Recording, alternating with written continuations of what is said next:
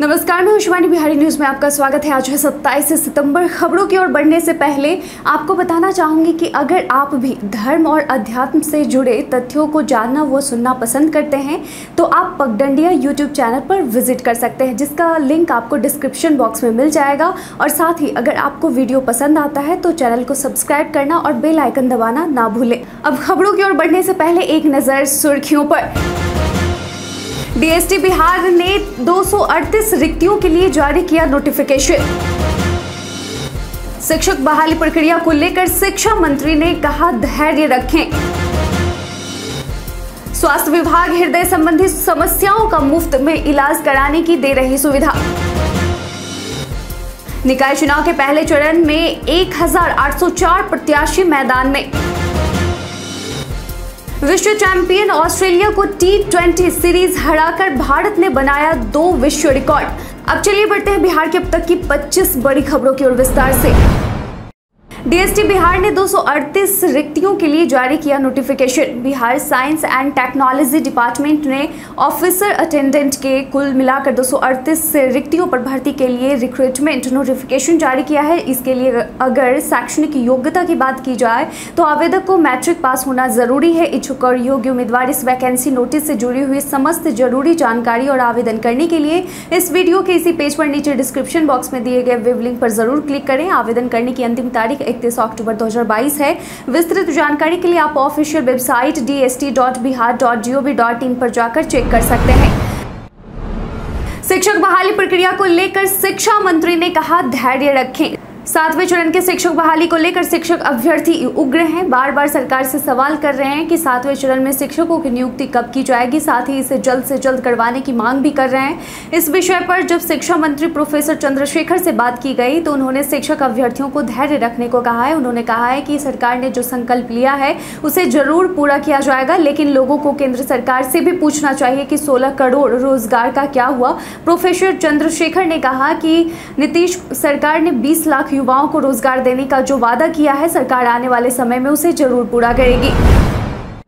वैशाली महोत्सव इस वजह से है बेहद खास। वैशाली महोत्सव खास तौर पर जैनियों का मुख्य त्यौहार है, जो जैनियों के चौबीसवें तीर्थकर भगवान महावीर के सम्मान में मनाया जाता है। वैशाली एक प्राचीन गाँव है, जो हाजीपुर के उत्तर दक्षिण में 35 किलोमीटर की दूरी पर स्थित है। यह स्थान पुरातात्विक स्थानों के लिए जाना जाता है, जिसमें बुद्ध स्तूप, अशोक स्तंभ, अभिषेक पुष्करानी तथा अन्य शामिल हैं। भगवान महावीर का जन्म वैशाली से चार किलोमीटर की दूरी पर स्थित कुंडलपुर में हुआ था। प्रतिवर्ष बैसाख पूर्णिमा को यह उत्सव मनाया जाता है, जो पहले हिंदू महीने की पूर्णिमा होती है। ऐसा माना जाता है कि ईसा पूर्व तीसरी शताब्दी में भगवान बुद्ध यहाँ आए थे। चाय की खेती पर सरकार दे रही है 25 प्रतिशत तक का अनुदान। किसान चाय की खेती कर अपना आय बढ़ा सकते हैं। जी हाँ पिछले दिनों बिहार सरकार ने चाय की खेती के लिए किसानों को आर्थिक अनुदान देने की पहल की थी। इसके लिए बिहार सरकार राज्य के किसानों, व्यक्तिगत निवेशकों और किसान उत्पादक संगठनों को पच्चीस प्रतिशत तक का अनुदान दे रही है, जिसमें राज्य के किसानों और व्यक्तिगत निवेशकों को कुल इकाई लागत पर पंद्रह प्रतिशत तक का आर्थिक अनुदान दिया जाएगा। वहीं किसान उत्पादक संगठन को पच्चीस प्रतिशत तक का अनुदान मिलेगा। अनुदान की राशि के लिए बागवानी विभाग की आधिकारिक website horticulture dot Bihar dot G O V dot in पर विज़िट कर सकते हैं। उनतीस सितंबर से चलेंगी बिहार को आने वाली ये स्पेशल ट्रेनें दिवाली छठ पर बिहार की ओर रुख करने वाले रेल यात्रियों के लिए अच्छी खबर है। अगर आप भी त्यौहार में बिहार आ रहे हैं और ट्रेन में यात्रा करने वाले हैं तो यह खबर आपके लिए हो सकती है। बता दें कि हर साल भारतीय रेल दुर्गा पूजा, छठ दिवाली जैसे बड़े त्यौहारों पर यात्रियों की भीड़ को देखते हुए स्पेशल ट्रेन चलाती है। ऐसे में इस बार भी भारतीय रेल द्वारा कई पूजा स्पेशल ट्रेन चलाए जा रहे हैं। आपको बता दें कि उनतीस सितंबर से लेकर तेरह नवंबर तक बिहार के लिए पूजा स्पेशल ट्रेनों की व्यवस्था की गई है। इन ट्रेनों में Amritsar Patna Amritsar AC superfast special train, Delhi Gaya, Nai Delhi reserve superfast festival express, Anand Vihar Jaynagar, Anand Vihar special train और भागलपुर आनंद विहार स्पेशल ट्रेन शामिल है। स्वास्थ्य विभाग हृदय संबंधी समस्याओं का मुफ़्त इलाज कराने की दे रही सुविधा। हृदय संबंधी बीमारियाँ आजकल आम होती जा रही हैं। हर दूसरा इंसान हार्ट की समस्या से जूझता हुआ मिल रहा है। यह बीमारी का खतरा 40 की उम्र के बाद बढ़ जाता है। इन परिस्थितियों को देखते हुए बिहार सरकार प्रदेशवासियों के लिए खास सुविधा मुहैया करा रही है। बिहार सरकार के स्वास्थ्य विभाग ने बिहार वासियों को करीब पंद्रह दिनों तक लोगों को मुफ़्त हृदय संबंधी समस्याओं का इलाज कराने की छूट दे रही है। आपको बता दें कि उनतीस सितंबर को विश्व हृदय दिवस से 12 अक्टूबर तक निःशुल्क जाँच सह चिकित्सा परामर्श पखवाड़ा का आयोजन कर रहा है। बिहार के सभी सदर अनुमंडलीय रेफरल प्राथमिक स्वास्थ्य केंद्र, शहरी स्वास्थ्य केंद्र से लेकर जीविका के सीएलएफ केंद्रों तक इसकी व्यवस्था की जाएगी। बिहारी पहचान में आज हम बात करेंगे लक्ष्मीकांत झा की। लक्ष्मीकांत झा बिहार के दरभंगा ज़िले में पैदा हुए थे। वह 1 जुलाई उन्नीस सौ सड़सठ से 3 मई 1970 तक भारतीय रिज़र्व बैंक के आठवें गवर्नर के पद पर रहे। लक्ष्मीकांत झा भारतीय सिविल सेवा के उन्नीस सौ छत्तीस बैच के सदस्य थे। उन्होंने बनारस हिंदू विश्वविद्यालय बी ट्रिनिटी कॉलेज कैम्ब्रिज विश्वविद्यालय और लंदन स्कूल ऑफ़ इकोनॉमिक्स से शिक्षा प्राप्त की। उन्होंने कैम्ब्रिज में अर्थशास्त्र का अध्ययन किया जब किन्स वहाँ पढ़ा रहे थे। लक्ष्मीकांत झा को एल एस ई में एक अन्य प्रख्यात शिक्षक हेरोल्ड लास्की ने पढ़ाया था। लक्ष्मीकांत झा ब्रिटिश शासन के दौरान आपूर्ति विभाग में उप सचिव बने और उन्हें उन्नीस सौ छियालीस के नए साल के सम्मान में उनकी सेवा के लिए एम नियुक्त किया गया। ट्रेनों में शुरू हुआ नवरात्रि स्पेशल थाली। नवरात्रि का समय है, ऐसे में कई लोग बिल्कुल शुद्ध शाकाहारी भोजन करना पसंद करते हैं, उसमें भी बिना प्याज और लहसुन के। इस बीच अगर आप कहीं रेल यात्रा पर निकलते हैं तो आपको खाना पैक करने की ज़रूरत नहीं है, क्योंकि भारतीय रेल आपको बिना लहसुन, प्याज के बिल्कुल शुद्ध शाकाहारी भोजन उपलब्ध करा रही है। और इसकी शुरुआत भी हो चुकी है। रेल मंत्रालय ने कहा कि यह विशेष ऑर्डर छब्बीस सितंबर से पाँच अक्टूबर तक परोसा जाएगा। इसे फ़ूड ऑन ट्रैक ऐप से ऑर्डर किया जा सकता है। इसके अलावा आप इसे e catering dot I R C T C dot C O dot in या वन थ्री टू थ्री पर कॉल करके भी खाना मंगा सकते हैं। भारतीय रेलवे की ओर से पूरे देश में लगभग 400 स्टेशनों पर यात्री इस सुविधा का लाभ ले सकेंगे। इसके लिए आप अपने टिकट के साथ भी बुकिंग करवा सकेंगे। बिजली रिचार्ज की राशि के ब्यौरे के लिए अभी और करना होगा इंतज़ार। बिहार में लगाए जा रहे स्मार्ट प्रीपेड मीटर से लोगों को खासा परेशानियों का सामना करना पड़ रहा है, जिसमें सबसे बड़ा झंझट रिचार्ज का है। इस स्थिति में कितने यूनिट बिजली खर्च पर कितना रुपया कटा, ये आपको नहीं पता चल पाता है। मतलब ये कि उन्होंने जिस राशि से अपने मीटर को रिचार्ज किया, वह किस किस मद में काटी गई, ये पता नहीं चल पाता है। इस बाबत बिजली कंपनी के सीएमडी के साथ माह भर पहले बैठक भी हुई थी। तय हुआ था कि अब उपभोक्ताओं को उनकी रिचार्ज की राशि का पूरा विवरण मिलेगा, लेकिन अब जो खबर सामने आ रही है, उसमें कहा जा रहा है कि स्मार्ट प्रीपेड मीटर लगाने वाली कंपनी फिर से बिजली कंपनी के साथ करार करेगी। इसके बाद ही इस समस्या का हल संभव हो पाएगा। विधानसभा में हुआ तेईस समितियों का गठन। विधानसभा के अध्यक्ष अवध बिहारी चौधरी ने बिहार विधानसभा में विधायकों की नई समिति का गठन किया है। मालूम हो कि लोक लेखा समिति के सभापति का पद विपक्ष को जाता है। लिहाजा पूर्व डिप्टी सीएम तारकिशोर प्रसाद को इस समिति का सभापति बनाया गया है। वहीं बीजेपी विधायक नीतीश मिश्रा को शून्यकाल समिति का सभापति बनाया गया है। भाई वीरेंद्र को प्राकलन समिति का सभापति, हरिनारायण सिंह को सरकारी उपक्रम संबंधित समिति के सभापति, प्रश्न एवं ध्यानाकर्षण समिति का सभापति अमरेंद्र कुमार पांडे पांडे को बनाया गया है और इसी तरह से तेईस समितियाँ गठित की गई हैं और उनकी ज़िम्मेदारी विपक्षी दल के नेताओं को मिली है।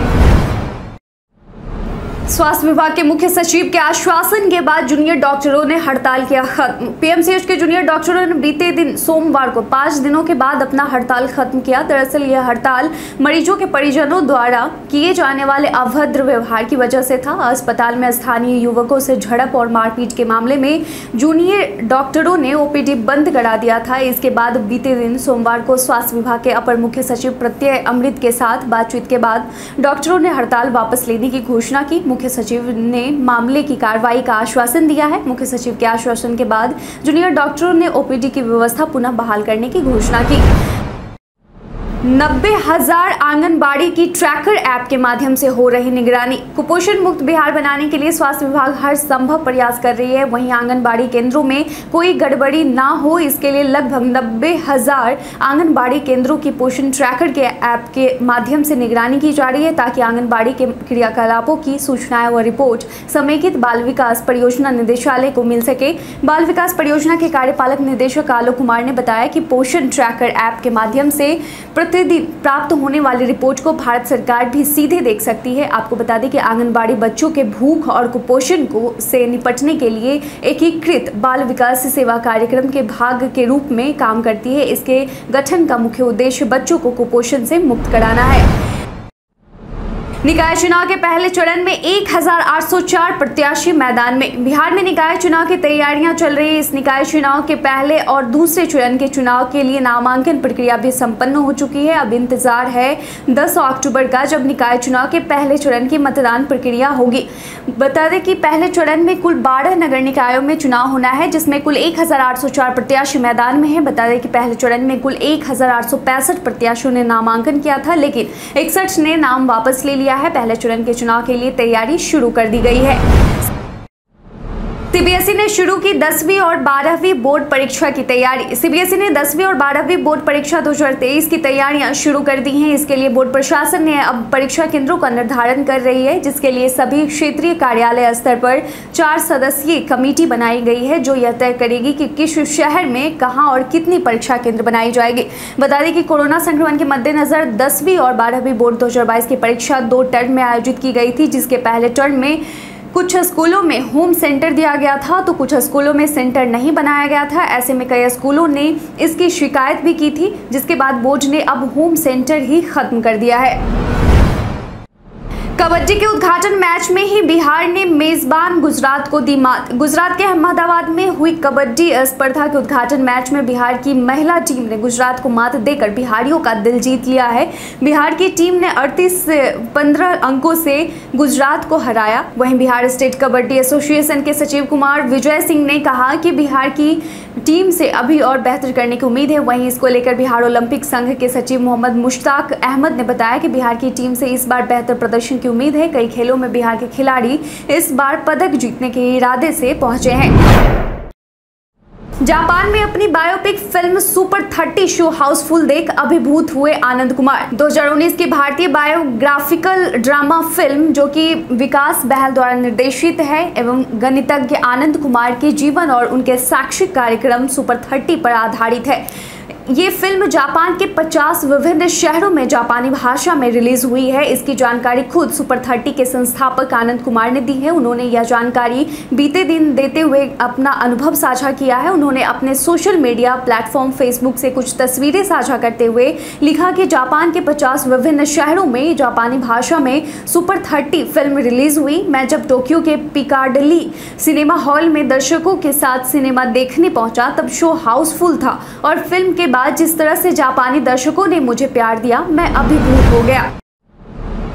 अभी जारी रहेगा बारिश का दौर। जुलाई और अगस्त से ज़्यादा मानसून सितंबर महीने में मेहरबान दिख रहा है। मौसम विभाग की माने तो आज राज्य के उत्तर, पूर्व, दक्षिणी भागों के सभी जिलों के एक या दो स्थानों पर वज्रपात के साथ में गर्जन की आशंका है। इसके लिए मौसम विभाग ने येलो अलर्ट जारी किया है। साथ ही आपको सलाह दी जाती है कि खराब मौसम में घर से बाहर बिल्कुल ना निकले, निकलने से परहेज करें, क्योंकि वज्रपात की घटना ने अभी तक कई लोगों की जान ले ली है। वही मौसम वैज्ञानिकों का मानना है कि प्रदेश में वज्रपात व वर्षा का सिलसिला कुछ समय तक जारी रहेगा। वहीं राज्य के कुछ हिस्सों में मध्यम स्तर की बारिश हो सकती है। सफलतम एयरपोर्ट की सूची से नीचे आया दरभंगा एयरपोर्ट। कुछ महीने पहले यात्रियों की बढ़ती संख्या का रिकॉर्ड कायम करने वाला दरभंगा एयरपोर्ट अब पीछे होता जा रहा है। बता दें कि दरभंगा एयरपोर्ट से हवाई सेवा शुरू होने के साथ ही इस एयरपोर्ट ने शुरुआत में खूब रिकॉर्ड बनाए लेकिन घटते विमान और बढ़ते किराए से कम हुए यात्री ने दरभंगा एयरपोर्ट को सफलतम एयरपोर्ट की सूची से नीचे कर दिया है। बता दें कि दरभंगा एयरपोर्ट से हाल ही के दिनों में मनमाने ढंग से किराए में बढ़ोतरी की गई है, जिसके बाद यात्री यात्रियों की संख्या में यहाँ काफ़ी गिरावट दर्ज की गई है। नतीजतन यहाँ से कई जगहों के लिए हवाई सेवा भी बंद कर दी गई है। उड़ान योजना केवल कागजों पर ही दौड़ रही है। वर्तमान में हैदराबाद से लंदन जाना सस्ता और दरभंगा आना महँगा हो चुका है।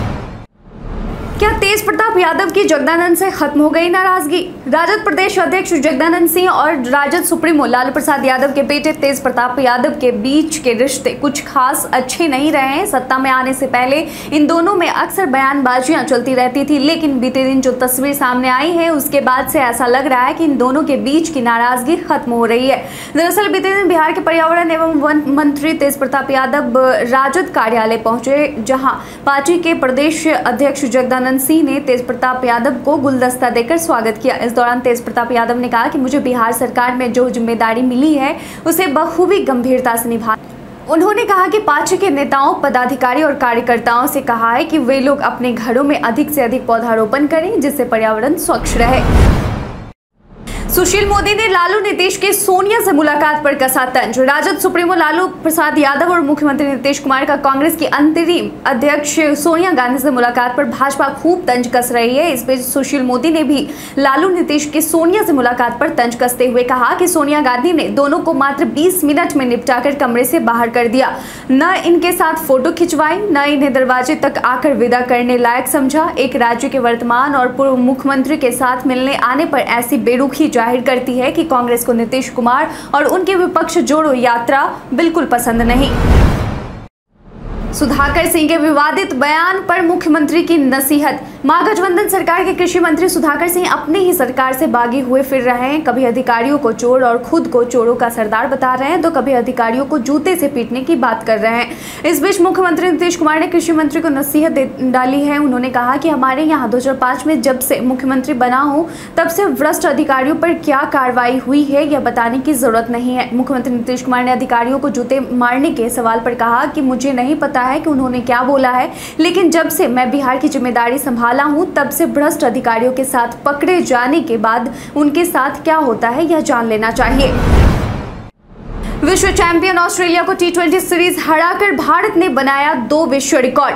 कप्तान रोहित शर्मा की अगुवाई वाली टीम इंडिया ने ऑस्ट्रेलिया को तीसरे टी मुकाबले में मात देकर दो एक से सीरीज़ जीत ली। इस जीत के साथ भारत ने एक नहीं, बल्कि दो विश्व रिकॉर्ड अपने नाम कर लिया है। भारतीय टीम अब एक साल में सबसे ज़्यादा टी ट्वेंटी आई जीतने वाली टीम बन गई है। इस साल भारत ने उनतीस टी मुकाबले खेले हैं, जिसमें से इक्कीस में जीत दर्ज की है। साथ में उन्हें हार का सामना करना पड़ा है। एक मैच का कोई नतीजा नहीं निकला। भारत ने इस जीत के साथ पाकिस्तान को पीछे छोड़ दिया है। पाकिस्तान ने साल 2021 में टी ट्वेंटी आई जीते थे। इसके अलावा यह टी ट्वेंटी इंटरनेशनल में अपनी सरजमी पर भारत की दसवीं जीत है। क्रिकेट के सबसे छोटे प्रारूप टी ट्वेंटी क्रिकेट में एक साल के अंदर सबसे ज़्यादा मैच जीतने का रिकॉर्ड भी भारत ने अपने नाम कर लिया है। भारत के इतिहास में आज की तारीख कई कारणों से है दर्ज। महान समाज सुधारक राजा राम मोहन राय का निधन 1833 में हुआ। 1932 में भारतीय फ़िल्मों के रोमांस किंग यश चोपड़ा का जन्म हुआ। भारतीय गणितज्ञ एस आर रंगनाथन का निधन उन्नीस सौ बहत्तर में हुआ। रंगनाथन भारत के पुस्तकालय जगत के जनक थे, जिन्होंने कोपलन वर्गीकरण तथा क्लासिफाइड केटलॉग का कोड बनाया।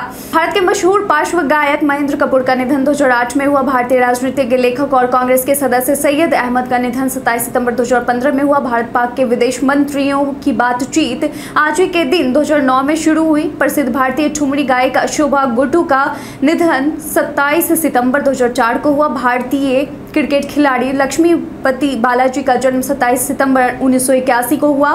भारतीय धार्मिक नेता माता अमृता नंदमयी का जन्म 27 सितंबर उन्नीस सौ तिरपन को हुआ। चेक में आज हम बात करेंगे पेट्रोल पंप की डीलरशिप के बारे में। आज शिकल कई फर्जी वेबसाइट के ज़रिए साइबर अपराधी लोगों को लूट रहे हैं। ऐसे में हमारा फ़र्ज़ है कि आपको सतर्क करें। इस बीच पीआईबी ने भी एक ट्वीट किया है जिसमें बताया है कि एक website the dealership dot in के नाम पर पेट्रोल पंप डीलरशिप देने का दावा कर रही है जिस, जिसका नाम इंडियन ऑयल सीएल है। पीआईबी ने इस वेबसाइट को फेक बताया है साथ ही कहा है कि प्रामाणिक जानकारी के लिए आधिकारिक वेबसाइट आई पर विज़िट कर सकते हैं। स्मार्टफ़ोन चोरी हो जाए तो तुरंत करें ब्लॉक। इस डिजिटल युग में अब स्मार्टफ़ोन हमारी ज़रूरत हो गई है नॉर्मल कॉल से लेकर बैंकिंग जैसे बड़े काम। अब लोग घर बैठे फ़ोन में कर लेते हैं। ऐसे में अगर आपका फ़ोन कहीं खो जाता है तो बड़ी समस्या उत्पन्न हो सकती है। कोई भी आपको ब्लैकमेल कर सकता है, साइबर फ्रॉड जैसी घटना भी हो सकती है। इसे बचने के लिए आप घर बैठे ऑनलाइन ही अपने फ़ोन ब्लॉक कर सकते हैं। सबसे अच्छी बात यह है कि अगर कुछ दिन बाद आपका फ़ोन वापस मिल भी जाता है तो आप अपने स्मार्टफ़ोन को दोबारा से अनब्लॉक कर सकते हैं। बता दें कि डिपार्टमेंट ऑफ़ टेलीकम्युनिकेशन की website central equipment identity register CEIR से चोरी के स्मार्टफ़ोन को ब्लॉक और अनब्लॉक किया जा सकता है। बीते दिन हमारे द्वारा पूछे गए सवाल का आप लोगों में से बहुत लोगों ने अपना जवाब में कमेंट सेक्शन में लिख दिया था, जिन्होंने पूछे गए सवाल का जवाब दिया है। उनके नाम है विनोद कुमार मांझी, मंटू कुमार, प्रीतम कुमार, अशोक ठाकुर, पंकज कुमार, अनवर करीम खान, अजय यादव, अर्जुन राम, राजकुमार प्रसाद, राकेश शर्मा, लक्ष्मी मेहता और अशोक राम। इसके साथ ही बढ़ते हैं आज के सवाल की ओर। आज का सवाल है कि दुर्गा पूजा को लेकर आपके इलाके में कितनी चहल पहल है। अपना जवाब है कमेंट सेक्शन में लिखकर ज़रूर बताएँ। आज के लिए बस इतना ही। बिहार की तमाम खबर के साथ बने रहने के लिए देखते रहें। बिहारी न्यूज़ धन्यवाद।